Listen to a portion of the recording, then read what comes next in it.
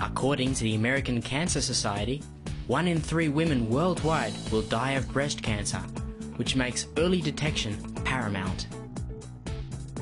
Cancer can be detected through an X-ray, and one of the hottest X-ray systems on the market is Konica Minolta's phase contrast-based digital X-ray mammography system.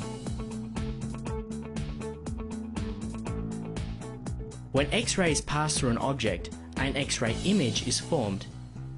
This is the traditional method and the resulting image is formed by using absorption contrast. However, X-rays are also electromagnetic waves and their phase changes as they pass through objects.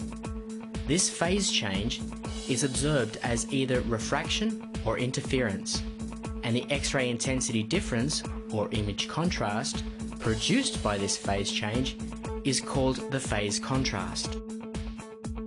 その位相コントラストの活用により、えー、と画像に勝手にエッジの強調がつきますので非常に見やすくなり乳がん乳がんの発見に非常に寄与しているというところです。The system is available for $600,000 and is now being marketed worldwide.